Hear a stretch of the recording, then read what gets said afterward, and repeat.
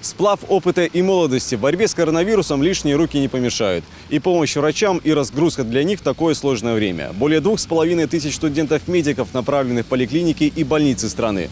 Алло, Алло, здравствуйте, Екатерина Валентиновна. да, да, да. Это вас из поликлиники беспокоят. Как вы себя чувствуете, скажите, пожалуйста? Нормально, все хорошо. А жалобы какие-нибудь есть? Кашель, температура? Нет, ничего нету. За день Виктория Оргиш обзванивает с десяток пациентов с диагнозом коронавирус. Главное, признается услышать. Нет жалоб, все хорошо. Уже больше недели второкурсница медколледжа помогает старшим коллегам в колл-центре. В медицину пришла по примеру старшего брата. Мне всегда нравилось помогать людям. Это была мечта моего детства. Вот. И я считаю, что мечты для того и существуют, чтобы их осуществлять. Всего с Бобруйского медколледжа в первой поликлинике трудится 27 студентов. Сейчас у них должна была быть теория, но на деле вышла практика. Но и в этом, говорят специалисты, есть свои плюсы. Они обеспечены всеми необходимыми индивидуальными средствами защиты и, конечно, оказывают э, нам огромную помощь. И вместе с тем приобретают тот незаменимый и необходимый опыт, который им, безусловно, пригодится в дальнейшей профессиональной деятельности. Здравствуйте.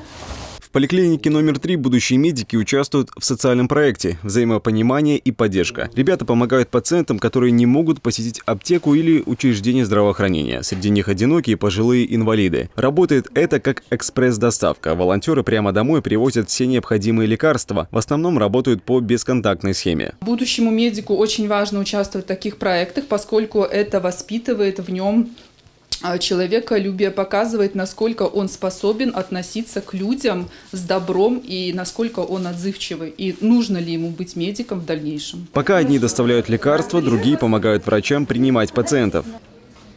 Перед тем, как приступить к работе, необходимо экипироваться. Теперь без одноразового халата, масок и перчаток никуда. Это безопасно.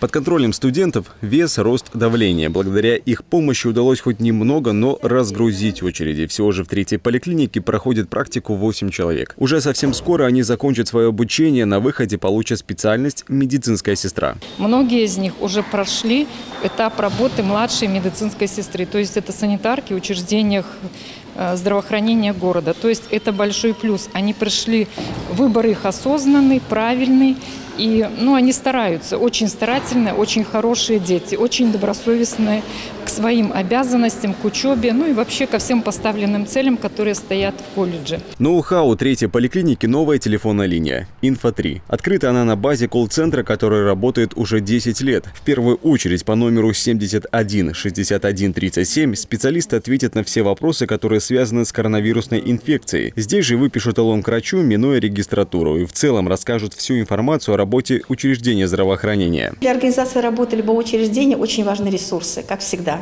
Э, Базовый уровень – это кадры и оснащение. И сегодня в этих направлениях, конечно, мы получаем значимую помощь. Ну, первое, у нас подключены интерны в работе э, ковидных контактных групп. Второе, у нас помощники врача получили возможность выдачи выписки больничных листков нетрудоспособности.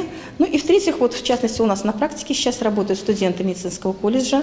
Это наша будущая смена, это наши будущие коллеги. В городских поликлиниках, детской и больнице скорой медицинской помощи учащиеся медколледжа трудятся с 17 ноября. Практика в такое горячее время не просто помощь старшим коллегам, это погружение в профессию без прикрас. Но сколько бы сил и людей не было брошено на борьбу с коронавирусом, главное, говорят медики, это личная ответственность. Все зависит только от нас самих. Носите маски, соблюдайте дистанцию, ведите здоровый образ жизни. Максим Кемель, Андрей Богдан, Бобруйск, 360.